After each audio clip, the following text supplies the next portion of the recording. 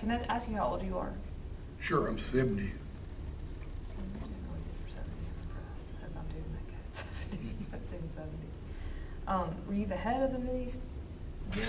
when you I'm were in sorry? the Paper, were you the head of the Mideast Bureau, or were you just part of the Middle East? No, I was Bureau? chief of the uh, Boston Globe Middle East Bureau. Okay. I- I lived in Jerusalem. Okay.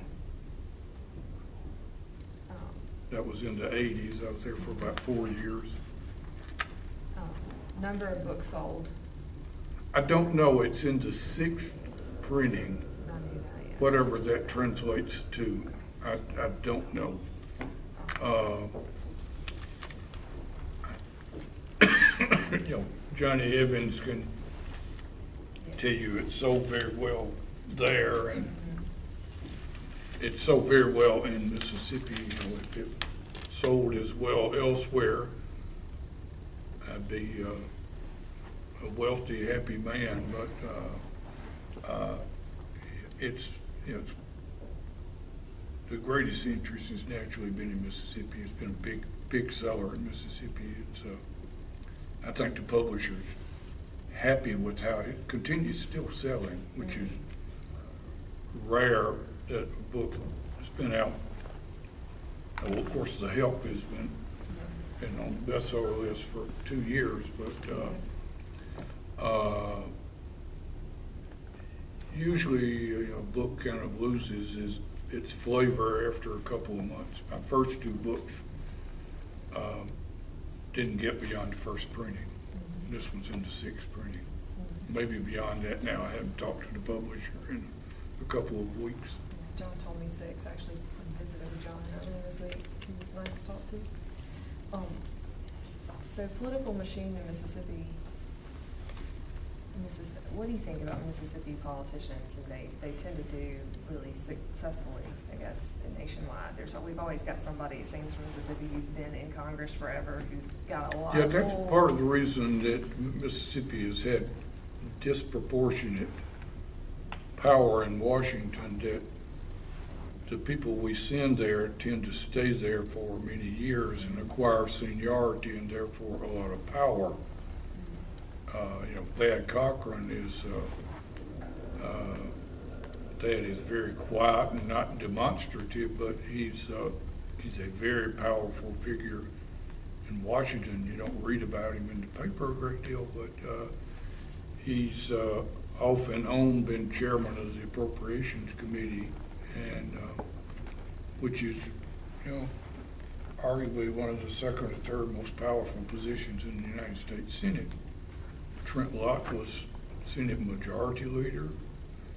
Uh, people like congressmen like Sonny Montgomery and Jamie Whitten had acquired a lot of seniority and became very powerful uh, in the areas that they specialized in. And uh, uh, obviously Senator Eastland and Senator Stennis were there for, seems like for about 40 years, both of them, and uh, became chairman of very powerful committees. So uh, um, uh, you know, because, you know, our, our representatives or our senators have been able to be reelected again and again, they, they uh, just naturally accumulate a great deal of power. Any recent theories on why they do so well? Is it just southern, southern charm or manners, or easier to You get mean in Mississippi or? Washington? I'd say just the way, yeah, well, both. I mean, how do they keep getting reelected? Well, it you know, How do uh, they do well once they get there? I think, you know, that clearly, you know, to be successful in re-elections, you have to relate to the people you represent, and they probably do a pretty good job of uh, relating to the interest of the people in Mississippi, else they wouldn't be reelected. Uh, uh, In Washington, you know, somebody like Thad, who I've known Thad for more than sixty years, and we were kids who lived on the Ole Miss campus together when our parents were getting their master's degrees uh, right after World War II. And uh, Thad is is very easy to get along with. There's uh, not any kind of real edge to, to Thad, and, and I think he, as a result, he's almost universally popular in Washington. Everybody likes Thad, even, even Democrats like Thad. Uh, Just easygoing, so maybe that's, part of that's your kind of southern nature, that you're not as high-strung as somebody from New York.